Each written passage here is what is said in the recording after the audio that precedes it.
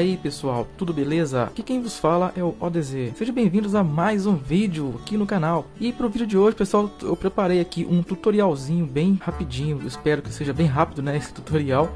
É, vou explicar para vocês aqui como é que é o processo aqui de finalização de uma cartoon com uma qualidade é, excepcional, sabe? Uma qualidade, modéstia à parte, muito boa. Então eu tô fazendo isso, pessoal, porque muita gente me pede, né, fazer esse tipo de coisa. Algumas pessoas ficam fica pedindo para eu ensinar, pedindo dicas e esse tipo de coisa, né? E, e é muita gente, então não dá para atender a todos, né? Então o melhor é sempre fazer tutoriais, né? Para isso eu consigo atingir um público maior, né? Consigo até trazer mais pessoas aqui pro canal, né? Que talvez não conheçam meu trabalho e, enfim, que, que, que queiram aprender um pouco de, de um pouco né, de finalização, de arte digital, essas coisas, né? Eu não sou lá esse expert, tá? Logo, deixo logo isso bem claro. Mas o que eu sei é eu consigo passar, né? Não é grande coisa, mas já é um, uma coisa que você pode brincar aí na sua casa aí, no seu PC ou no seu celular, qualquer coisa. E uma coisa, pessoal, em breve eu vou estar tá trazendo, tá? Alguns vídeos assim feitos no tablet. Eu ainda não sei como eu vou fazer isso, mas eu vou dar um jeito, tá? Não, não posso prometer nada agora, não posso solidificar nada agora, mas é, eu vou fazer alguma coisa relacionada a tablet, a Android, né? Porque o pessoal me pede muito também. Na, na, minha, na minha concepção, não é muito diferente de você usar uma Manga Studio ou o Photoshop, o Paint to Sai. Aplicativos de celular não fogem muito à regra, né? Os que tem camadas e blend mode é o suficiente para você estar tá fazendo uma arte igual a essa que você está vendo. E aí eu estou é, ainda finalizando, né, dando uma arte, uma line art, né, por cima do meu esboço que eu tinha feito anteriormente. E vocês devem estar vendo aí as duas imagens de referência que eu usei. Esse desenho é feito, é, foi para um cliente, né, é o Marcílio Max, que já está batendo carteirinha aqui já, já, já tá ganhando carteirinha de sócio, né, aqui no aqui no meu canal já com a minha loja e tal. Eles estão, ele tá sempre pedindo alguma coisa, sempre comprando alguma coisa comigo. E muito obrigado aí, cara, por sempre confiar em mim aí, por sempre confiar esse trabalho aí para mim. Você sabe que tamo junto sempre, né, mano? Precisando de alguma coisa, tamo aí. E pessoal, na descrição tem aí a minha loja, tá? Que eu tenho que melhorar algumas coisinhas lá. É uma lojinha simples, né? É no Facebook mesmo, é uma, uma lojinha, uma, uma, apenas um puxadinho, né? Que tem lá no Facebook lá você pode anunciar algumas coisas. Mas por lá você não compra, tá? Você compra através do número do WhatsApp que tá aí na, na descrição também, tá? E é o seguinte, pessoal, só, só, só me chame no WhatsApp se você realmente quiser comprar uma cartão. Se você me adicionar lá e falar, ah, eu quero uma de graça, mano, sinceramente eu não vou te atender, eu vou te ignorar, tá? Eu vou te bloquear, entendeu? E eu não vou nem, nem olhar pro seu número, nem olhar pro seu nome, nem nada, não. Vou simplesmente bloquear, porque esse número aí é um número mais para contatos profissionais, entendeu? Um número para você tá comprando sua cartoon, beleza? E vier pedir dicas também, essas coisas assim, não, não é uma boa, né? Esse número não é para você tá pedindo dicas, é para é você comprar os cartoons e os desenhos, né? Que não são só cartoons, né? Tem outros tipos de desenho também.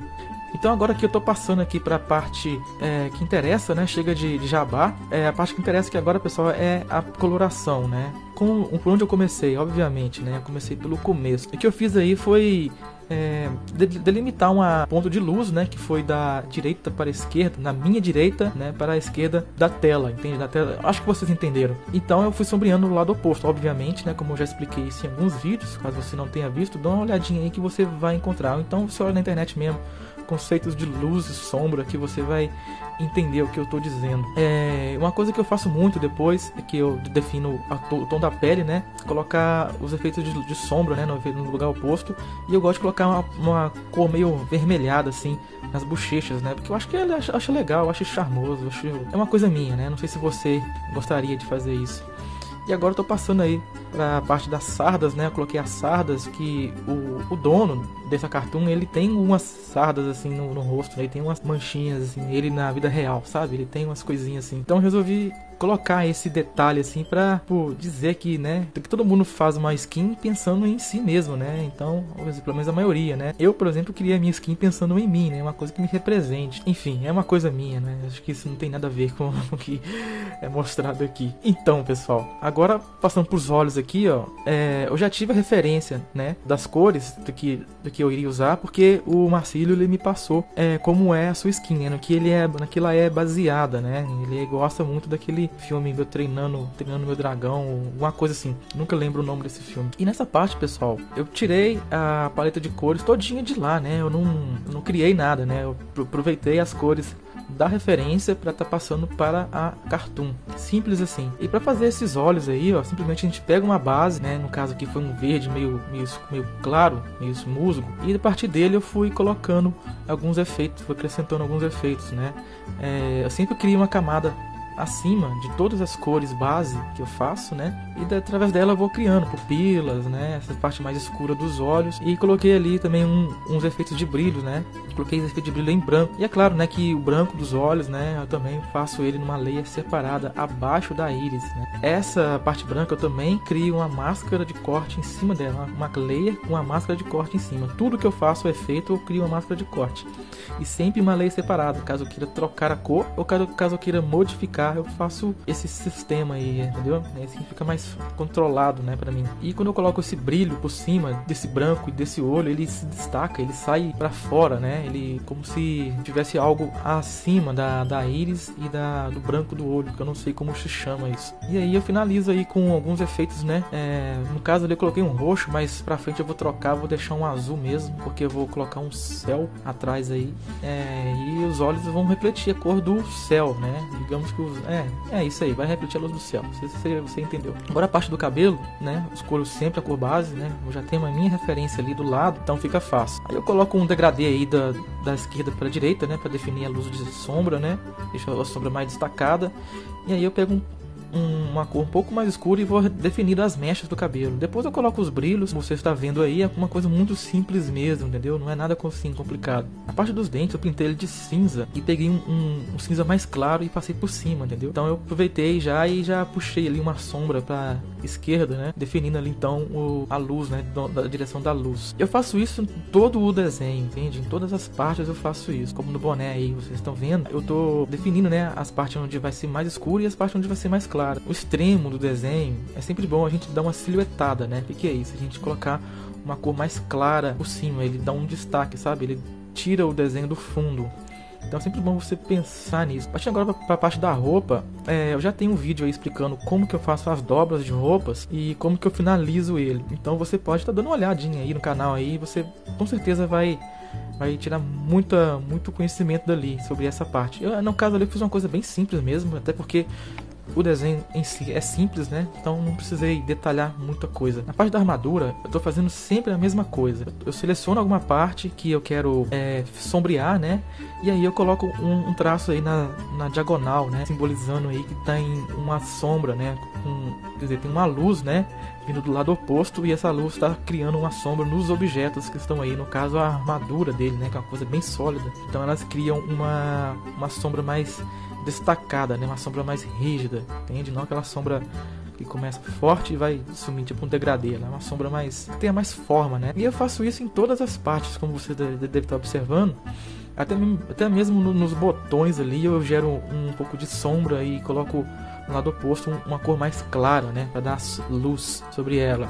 Em objetos mais redondos, pessoal, eu costumo fazer um brilho mais centralizado, né? Como se fosse uma esfera. E você pode estar fazendo isso também, tendo essa noção aí, quando o objeto é mais arredondado, você deve sim fazer esse conceito de, de esfera, né? Você já fez alguma esfera na sua vida, você sabe muito bem do que eu estou tentando explicar aqui. E criando aí, ó, sombras sobre os objetos, né? É, reforçando aí um pouco os traços, é, reforçando um pouco os detalhes, né? Com a cor um pouco mais clara e acrescentando aí também algumas rachaduras, algumas coisas, sempre com uma opacidade bem baixa mesmo, né, para ficar uma coisa mais sutil, coisa assim que você vai observar só se você olhar de perto. Eu coloquei um azul, é, é só para dar uma uma como é que diz, uma segunda cor para armadura, né? Para não ficar aquele preto, né? Aquela cor cinza assim, meio mórbida. Então eu coloquei um azul assim, só para dar uma diferenciada, como se tivesse um, um, reflexo de, sei lá, de alguma coisa, entende? Eu só imaginei isso, coloquei e eu vi que ficou legal. É, são coisas que a gente vai testando, né, pessoal? E vai colocando por cima e vendo o que dá. Algumas dão certo, outras que não dão, a gente simplesmente deleta, leia e tenta fazer outra coisa, né? Parte para outra. E uma coisa, pessoal, que vocês sempre devem fazer é caprichar nos detalhes. Capriche muito, mas muito mesmo principalmente em luz e sombra. Se você consegue definir esses dois aspectos do desenho, seu desenho já está praticamente 60%, 70%, sei lá, já está bem, bem legal. Agora o céu, pessoal, para fazer esse céu, essas nuvenzinhas puxadinhas, eu usei um pincel. É, vou deixar na descrição aí para você que viu o vídeo até aqui é, e para você que é usuário do Mangá Studio também, vou deixar esse brush aí para você estar tá usando, tá?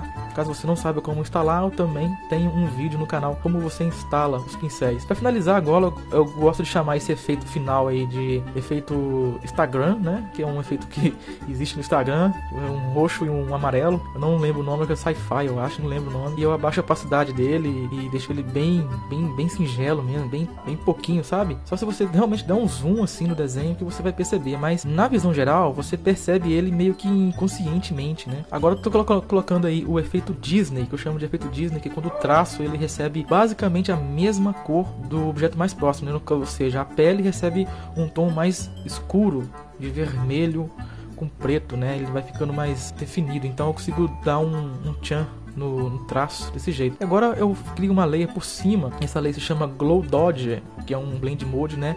Que se encontra no Photoshop e no Paint to Sai e alguns aplicativos de, foto, de celular também contém esse efeito, né? Ele, ele estoura um pouco a cor, né? E eu uso um pincel, é, como se diz, um pincel de, de pelos, né? E ele é mais macio, né? Ou seja, quando, se eu passo ele uma vez, ele coloca uma cor. Se eu passo ele de novo, estoura aquela cor que eu acabei de passar. E assim sucessivamente, né? Ele vai estourando as cores e nisso eu consigo ter um controle de luminosidade nas partes mais extremas, né? Nas partes mais próximas da luz. Na parte mais é, afastada eu tiro o peso da mão e consigo é, equilibrar, né, calibrar melhor a, a, a, intensidade da luz. E com isso aí eu consigo criar aí contra-luz, luzes secundárias e terciárias. Então é isso aí, pessoal. O desenho está finalizado aí, como vocês puderam ver. Ficou bem legalzinho, ficou bem é, acabado, né? O desenho dele ficou bem da hora. E é isso aí, pessoal. O vídeo é esse e eu espero que vocês tenham curtido esse formato de tutorial mais dinâmico, né? Mais rápido, sem muito corte, eu espero, né? então diga aí nos comentários o que você achou desse tutorial, desse formato de vídeo, se isso realmente foi útil para você, se realmente foi bom para você esse tipo de vídeo. Eu estou no aguardo aqui para ver o que vocês vão comentar, beleza, pessoal? E se você está afim de comprar uma Cartoon, dá uma olhadinha aí na descrição, tem todos os contatos que você precisa, beleza? Conversa comigo lá que nós entramos em um acordo sempre. E é isso aí, pessoal. Muito obrigado a todos que assistiram o vídeo até aqui e nos vemos nos próximos vídeos. Falou!